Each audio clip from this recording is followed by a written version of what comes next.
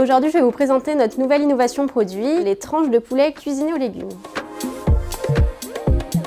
Bonjour, moi c'est Amélie, je suis responsable de l'atelier fabrication. On a vu que les consommateurs français qui achètent aujourd'hui euh, de la charcuterie, ils sont plus tournés vers euh, l'achat de, de, produits sains. Ils veulent plus de diversité dans ce qu'ils achètent. C'est pour ça qu'on s'est tourné vers le marché de la tranche de poulet cuisinée aux légumes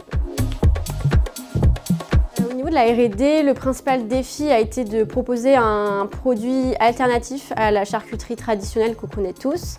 Au niveau du packaging, euh, on a voulu reprendre des chartes graphiques qui associent à la fois la naturalité du produit et euh, un plaisir euh, gourmand tout en restant sain. C'était aussi important pour nous de mettre en avant que les tranches de poulet sont élaborées à partir de viande de poulet française.